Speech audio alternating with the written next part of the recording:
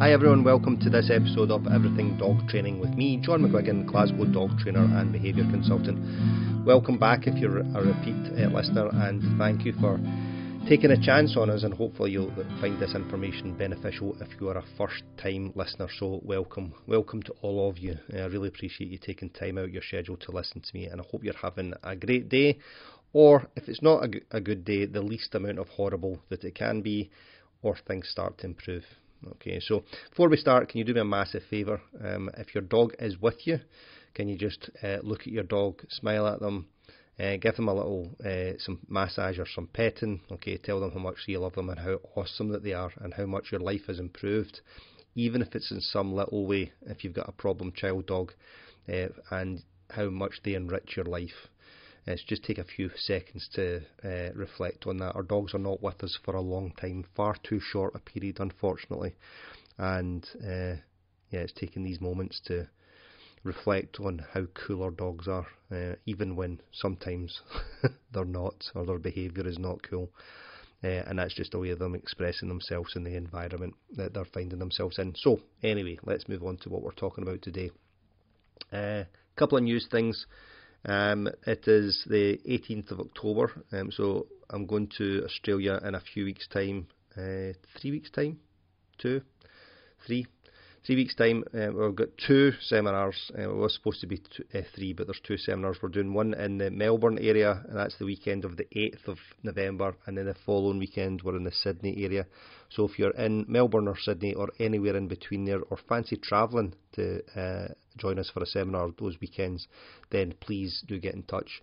You can give me feedback uh, on the podcast, you can email me info at glasgowdogtrainer.co.uk. It's always nice getting emails uh, from people uh, telling them, telling us how much they appreciate uh, the podcast and how much they enjoy it. And I do appreciate. it. I try to answer every single one that we can.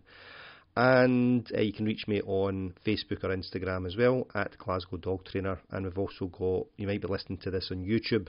We've got a big YouTube channel. We've got um, several hundred videos on YouTube as well as Facebook and Instagram. That's also at Glasgow Dog Trainer. Um, if you can subscribe uh, to the channel as well, wherever you're listening to this podcast, if you can subscribe, and if you're in iTunes, please leave, leave us a review. So that's that out of the way. A couple of things I want to talk about today. Um, some nice stuff today. Okay, you, uh, sometimes we can be have uh, the horror story, the horror story that can be dog training and people's interactions with their dogs. But if you're listening to this, then it's generally you're on the right path. So thank you. Uh, we're going to talk about uh, dog trainer and dog professional green flags today. Uh, which we'll talk about in a second.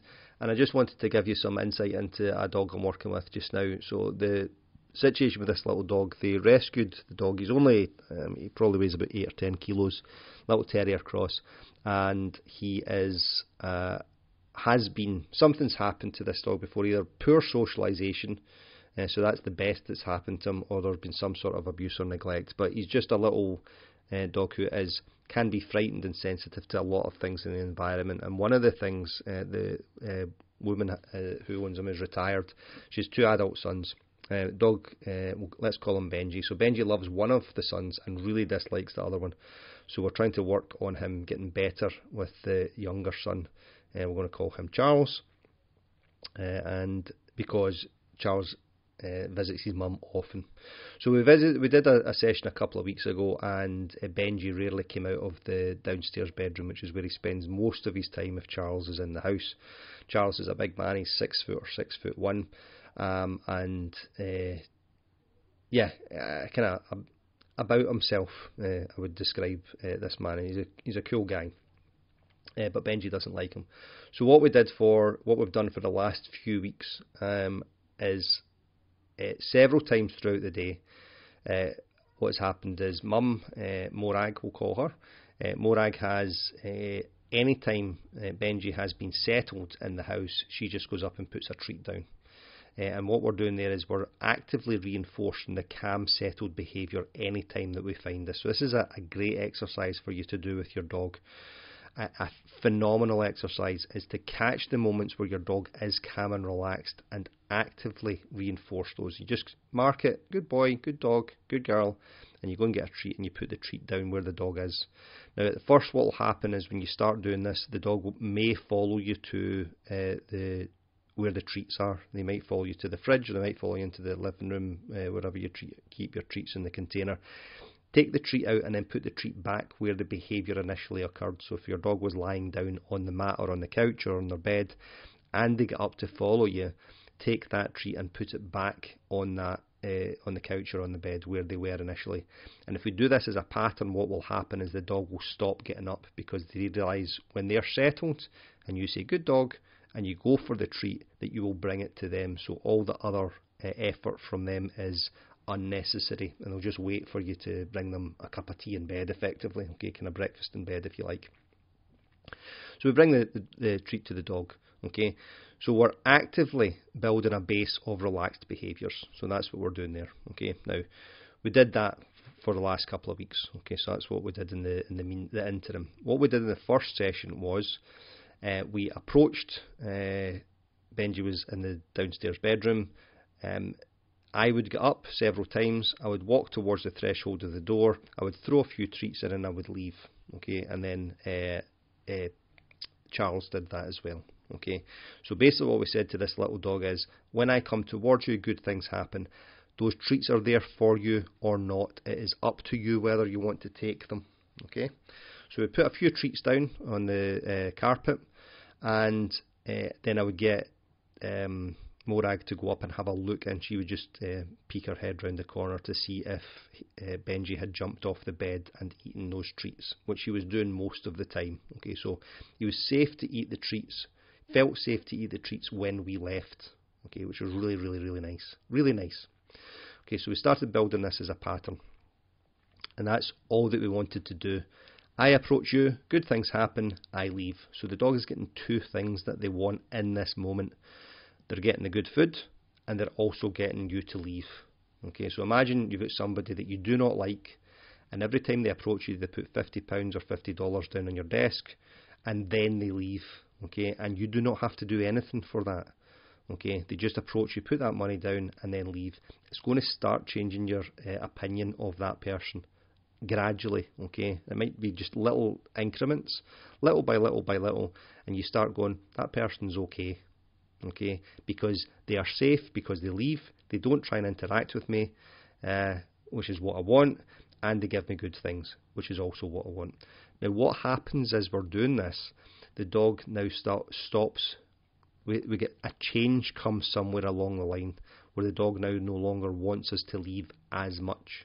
So they still might want us to leave, but they just don't want us to leave with the same degree of wanting to leavedness as they did before. Okay, so our next stage stage from that is we approach the dog, and if the dog is quiet and or looks at us, okay, um, so if the dog is quiet, or the dog is quiet and looks at us, we put a couple of treats down and then we leave. So what we've now started to do, say is there is a, a, a tiny, easy condition for you to get that treat from me, which is you just remaining quiet and looking at me.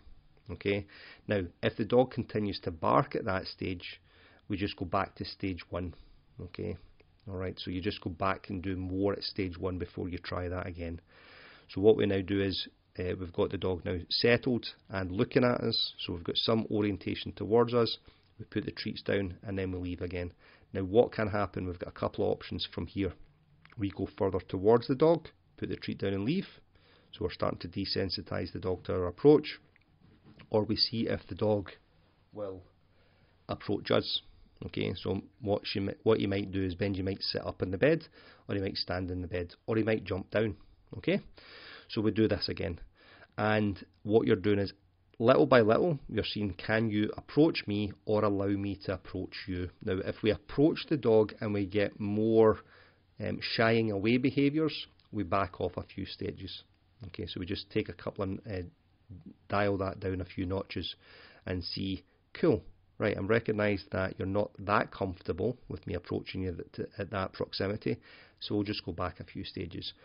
What also happens with this, and you need to be careful when you're if you're working with this with your own dog, eh, or you know a dog that you're working with, is that it's not linear. So you might have really good days, and you might have not so good days.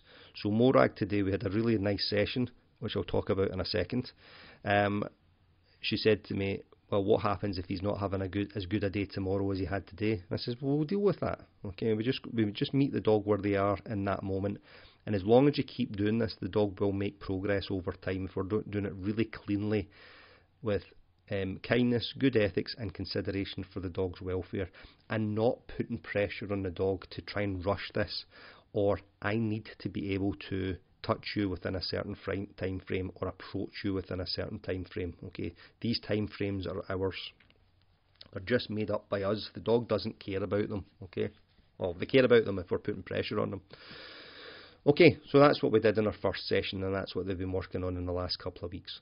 So what did, we did today was we went into the, the downstairs bedroom, and Hamish jumped off the uh, bed, and then he didn't race, but he didn't walk. Okay, so he just kind of halfway in between there. He jumped off the bed and went into the living room, and what he was basically saying to uh, Charles is, "I don't want you in this room. okay, you come in here, I'm leaving." Okay, that was fine. So we then uh, he went into the living room and went into his uh, bed in the far corner, and we did exactly the same again.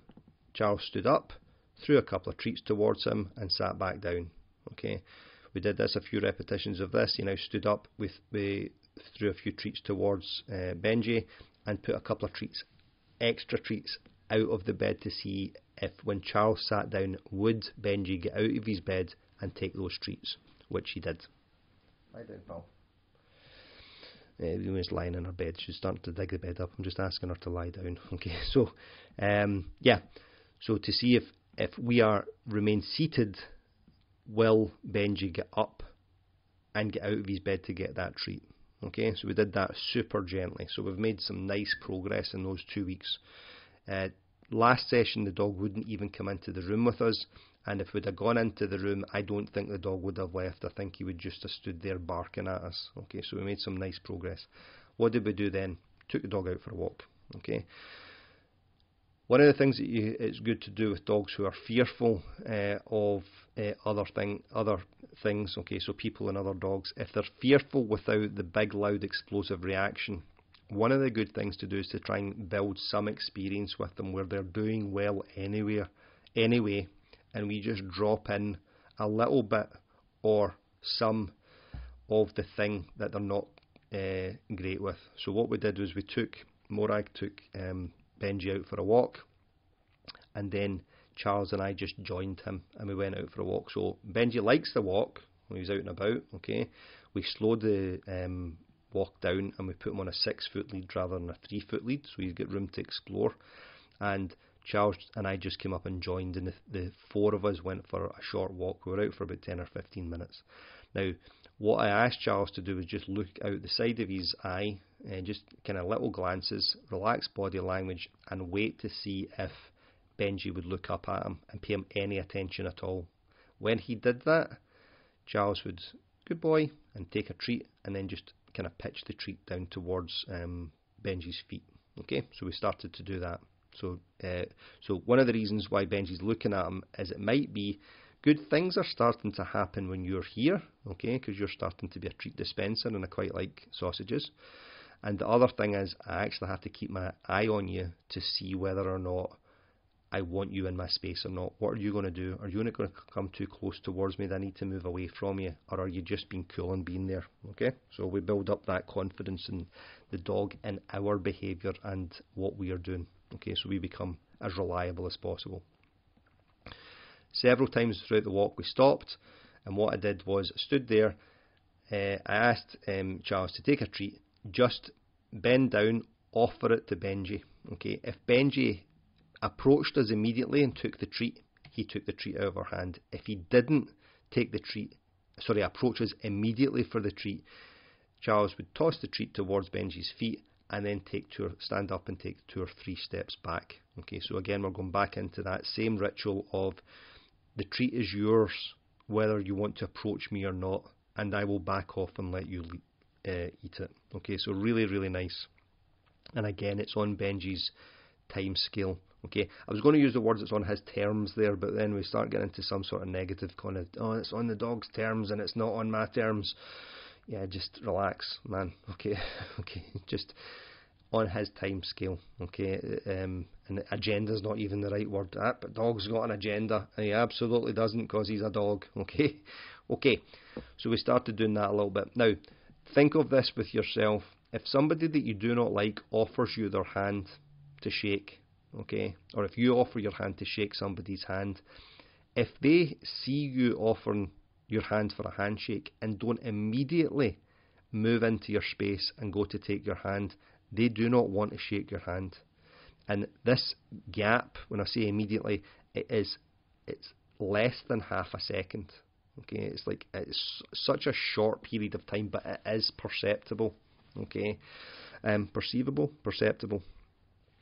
We offer to shake our hand. Okay, now if we hold our hand out there, even for that, you know, we're approaching a second or a second and a half, we are now starting to put social pressure on that person who does not want to shake our hand to shake our hand. Okay.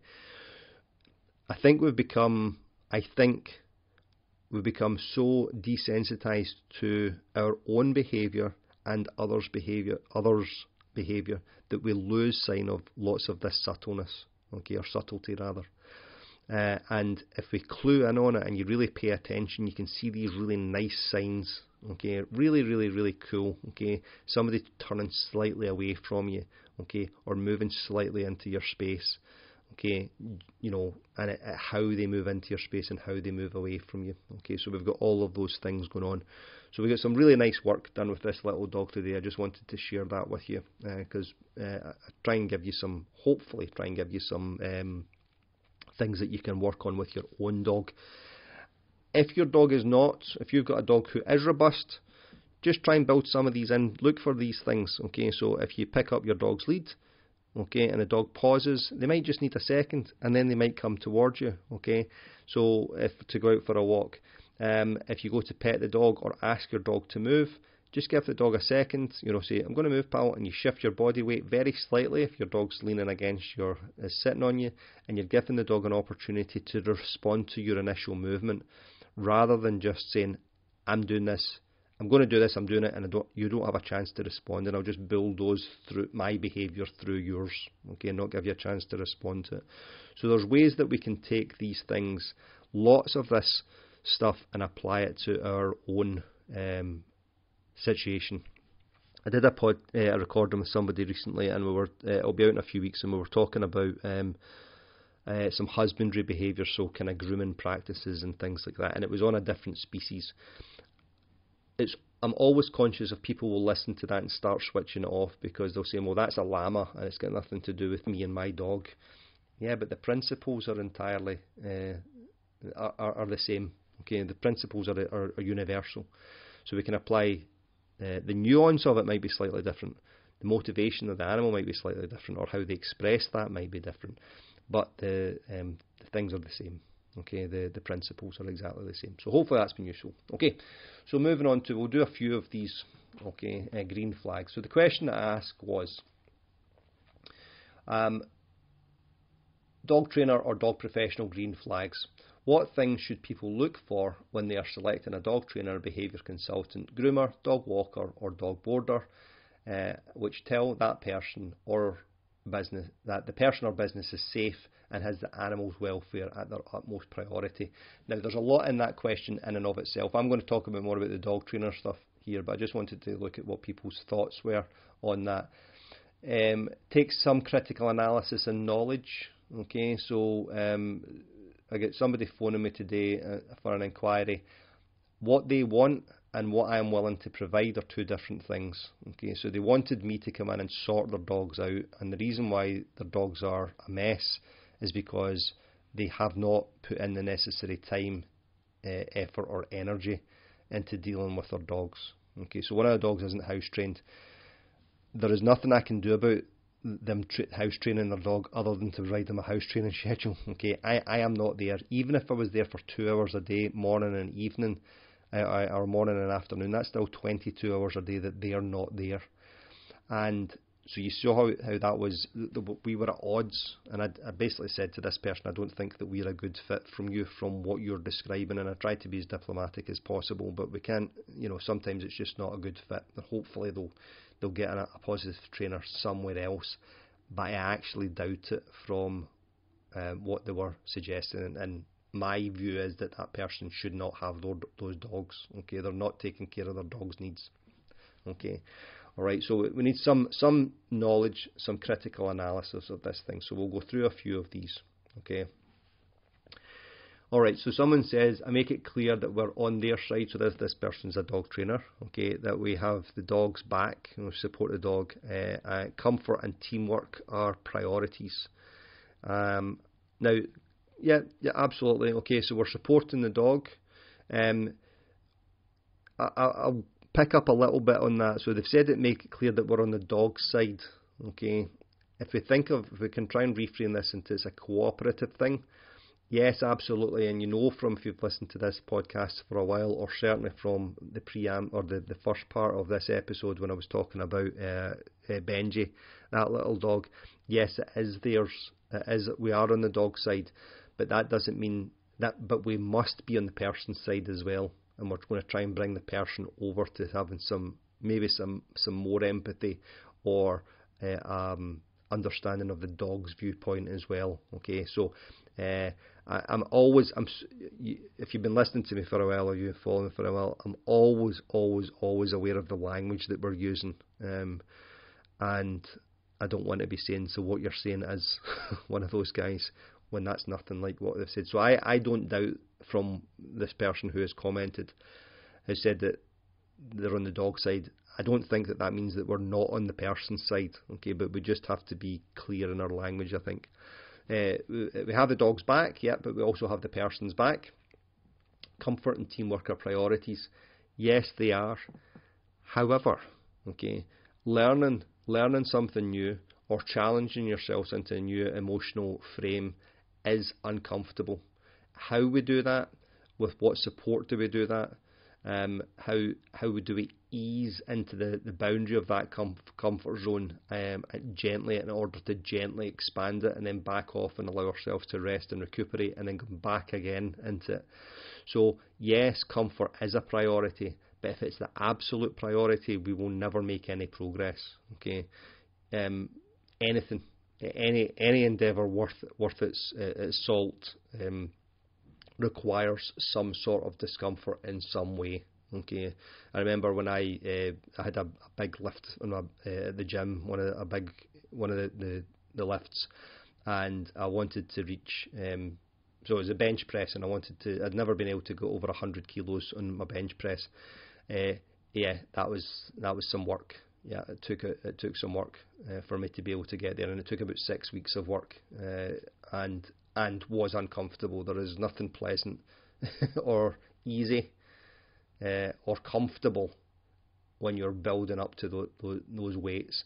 The more you practice it, the easier it be- becomes, but it's still always heavy. And the reason why it's heavy is because it's a big, massive weight. But the reason we do this is in order to get stronger. Okay, so we then become comfortable or better at lifting heavy things, and it's the same thing with this.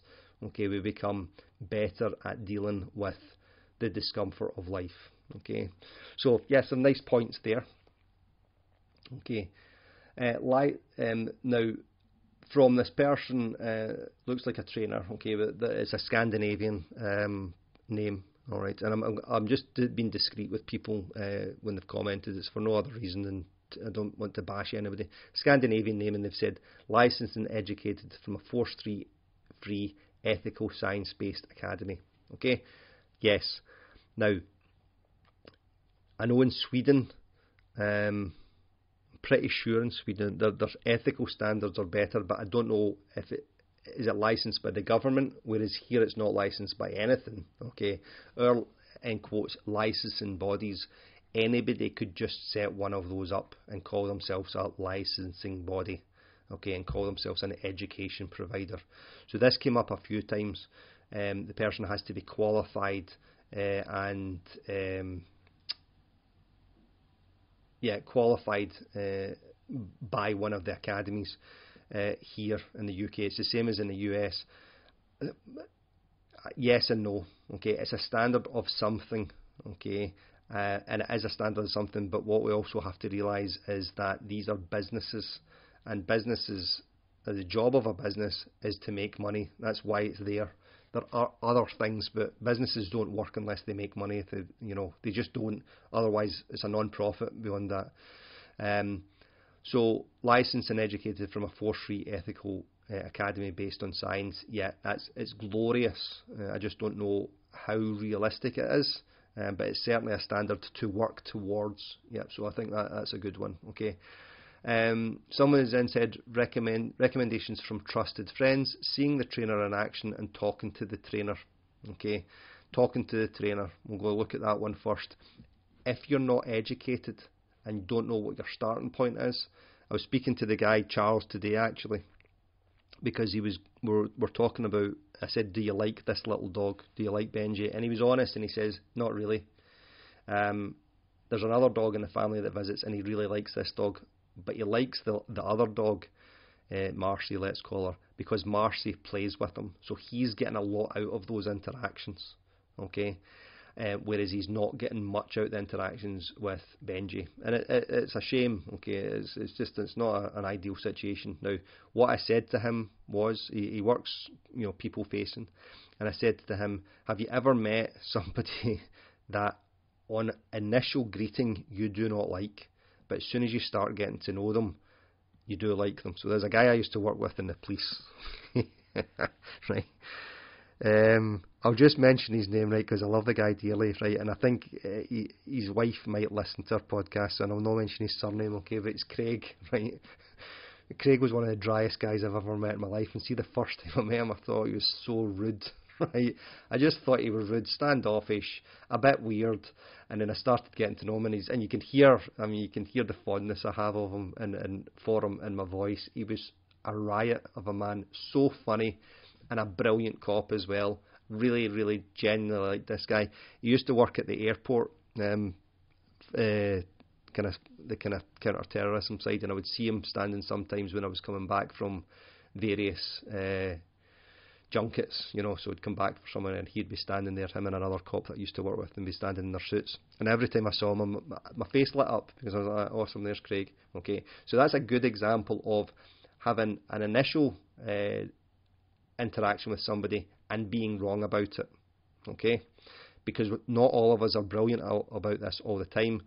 Very few of us are great about it all the time. And lots of us aren't very good at it at all. Okay? So we've got somebody, so this is talking to the trainer. Okay? We've then got those people who are likable at first, but then when you start getting below the surface, um, they're not a likable person. And I always think that those people are charming. Okay, so now they could be charming and a great person and really funny and you know all those awesome things, or they can be charming and they're charming because they're actually trying to charm you like a snake charmer. Okay, um, so talking to a trainer, uh, and we've got a couple here, and they've got they have they're good salespeople. Uh, they can they can sell their product because they tell people what they want to hear, and uh, unless people are educated into asking the right questions, what training methods do you use? Okay, will you use a prong collar or a shock collar on my dog? Will you use a a, a, a, a garrote uh, or noose or slip lead to tighten round my dog's neck? If you don't know how to, if you don't know about the, that training method, you'll not know how to answer that question. And what these people might turn around and say is, "Yep, what we'll do is we teach your dog how to do as well, and we keep the dog within boundaries using certain techniques. Okay, now that's that's that could be horribly euphemistic for we're going to put a prong collar on your dog. Okay, all right. So that that's um, we, we, can be charmed or sold um, things. All right, uh, and the, the more that you be around these people, uh, the more that sorry, the more that you are around these people and are aware of these things, it's starting to look for nah, that that person's not all that, or not all what they seem to be. Okay, so talking to the trainer isn't necessarily a good, isn't necessarily a green flag. I don't think. Okay, seeing the trainer in action. That's another one which I would probably take some sort of have some sort of disagreement with. Again, unless you are educated and know what you're looking for. Um, so there was a there's a guy uh, trainer um, and he's got a big social media following. Okay, um, and the the aversion, the abuse, the harsh treatment of the dogs is so. There's several of them actually. Okay, it's not. Um, there's several of them that I've seen. It's so subtle that if your eye is not trained, you would not notice it. Okay, so if you know what you're looking for, you will see it. But if you don't know what you're looking for, you will not see it because they're not grabbing the dog and swinging the dog round their head like a helicopter on a choke chain or a prong collar, okay? Or really harsh corrections or kicking the dogs in the ribs, okay? And then even with that, Cesar Millan corrected dogs on the neck and kicked them in the ribs in the same time, and he did that forever, and people still bought into it and still buy into the notion that he is just, in quotes, snapping the dog out of their frame of mind. No, he, no, he's not. He is kicking the dog in the rib, not even in the ribs, it's in the soft part between the last rib and the pelvis. Okay, that really sensitive part in your in your waist. Okay, and pulling the dog in on a on a slip lead. Okay, or a prong collar. So seeing the trainer in action is not necessarily a green flag if you don't know what you're looking for. Um, I feel as if I'm giving this person an awful hard time for the three things that they suggested. They also suggested recommendations from trusted dog friends.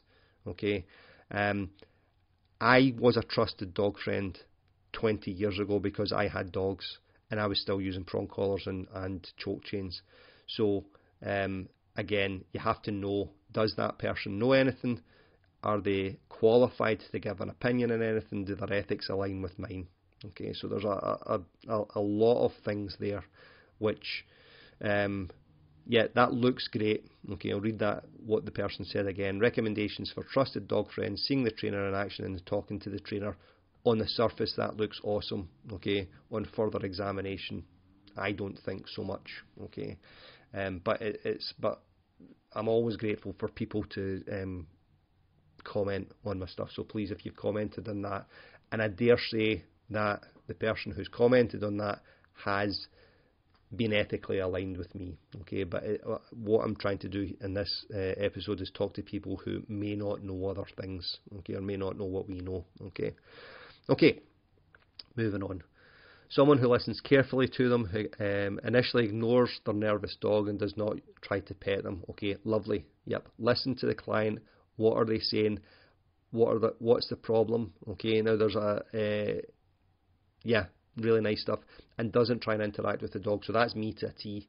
I bring the person out first, bring out a car, or I've done the conversation on the phone before we meet, and I ask them what's going on with their dog before we bring the dog out. When they bring the dog out, yep, I don't try and interact with that dog unless the dog is, you know, jumping all over the top of me in a friendly way, in which case I will say hi to the dog to try and settle settle them down. Okay. Uh, someone who uses phrases like "let's take things slowly and at your dog's pace." There are no guarantees or quick fixes, but we will try X, excuse me, X, Y, or Z. Okay. Yep. Awesome. All really, really nice things. Yep. Uh, and again, uh, a level of critical analysis involved in that. Um, uncertainty, kindness, and patience are green flags for me. I don't know so much about uncertainty. Okay. Um, I am certain with my clients that we can make improvements.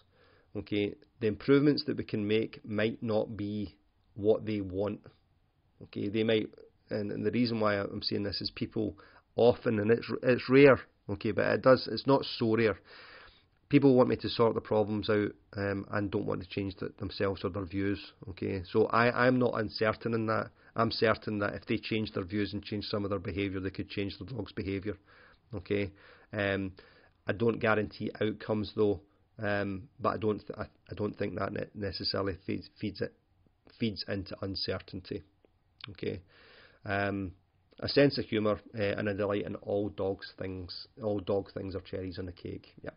Okay, and hopefully I've got I've got an awesome sense of humour, don't I? right. Okay. Science-based education, clear ethical guidelines, and, and being empathetic. Yep, that's awesome. Yep. Okay. Um, next one, being honest about one's limitations. Just because we're a professional in the field doesn't mean we know everything or have experienced everything there is. Yeah, absolutely. Knowing when to refer on, that's also a good one. However, um, if people are not referring on, it might be because there's people that are uh, there aren't any other suitable people in the area qualified. Okay, that's one thing. And the other thing is, and from a business point of view, uh, there has to be quid pro quo. Okay, so if you're referring people to others and you never get anything back, yep, we, we could take bite the bullet. Okay, but you're you're feeding people's livelihood uh, to, potentially to the detriment of your own. Okay, so that, that, there's some other things going on there. Okay, and again, when, I asked in the initial post, uh, engaging a dog and professional, so we have to be aware of these things. Okay.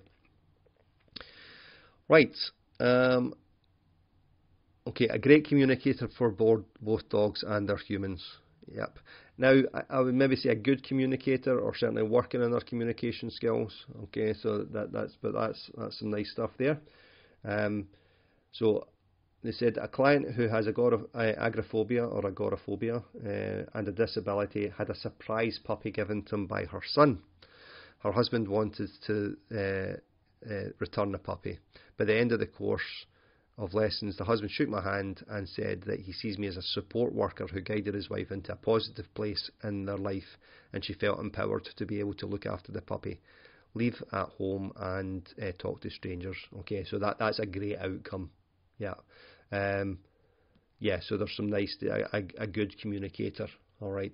Um, yeah, yeah, absolutely. You've got to put your client at ease and you've got to communicate what you want. That's really, really nice. Uh, next one. They understand that feeling safe and being safe are not the same thing. Okay, now that's as a standalone statement. I'm going to um, look a little bit further at that. Okay, we have to take people's feelings into account Okay, we do, we absolutely do. So if somebody feels that they're not safe, that's their perception of it. Okay, um, but feelings aren't always reality. Okay, and if we are looking to push a dog further, or sorry, push a dog gently into the boundary of their comfort zone in order to expand that comfort zone, then we are asking the person to perhaps give up their absolute sense of safety um, for their dog's benefit. Okay, so that's as much as I kind of want to say about that. Okay. A good CAM solution finder with no aversives uh, is open and honest. And not everything is going to uh, go right, so we always have to have a plan B. Okay, the honesty thing, yes and no. okay, right. So, um, in my previous job, we, we could pretty much say what we wanted when we wanted, okay, and there was little repercussion. So it's how cops communicated with each other. Is it's just hideous how they communicate with each other. Um, I remember um, my brother was a cop uh, uh, as well, and he said he would go in. He went into when he worked in uniform, and there was an old cop. Honestly, I'm not laughing. I'm laughing at how ridiculous this is the probationer, the, the rookie, comes in and he's standing there and he was a mouth breather. Okay, so he would you know sit there with this gormless look in his face with his mouth open. Okay, now I get that's not a very professional look. Okay, and it's not all right. Um, and the old cop just got into this guy, you know, and started. I mean, was savage with this guy. So you have to develop this this really thick skin Okay. Now he is the older cop is being honest. Yeah, just not really kind. Yep. And there's a, there's somewhere in between there. Okay. Can you be kind and honest? Yep. Can you be kind and dis? Sorry. Can you be kind and dishonest? Mm, don't know so much about that one. Can you be uh, unkind and honest? Absolutely. Yep. Okay, so that brutal honest. Let me be brutally honest with you. Well, how about you just be honest with you without the brutality? Thanks very much. So we would speak to each other like that, and then because we had the authority of the state behind you, you could pretty much speak to the public like that if you were so inclined. Okay, so honesty uh, is honesty always the best policy? Maybe. Yep. Yep. Certainly towards looking towards having an honest picture about it. But if you see somebody making a mistake, uh, you can honestly say that they've made a mistake, but they might be learning. All right. So um, open and honest. Yep, open certainly open to to having an open heart. Yep. Um, open to an ethic, a change in ethical standard? No, absolutely not. All right, but I get what, what, what we're saying. Yeah, a CAM solution finder with no aversives. So that's the previous part. Okay, open and honest. If we qualify it with the first part, then that's some nice stuff. Okay, let's move on to. We'll do one more.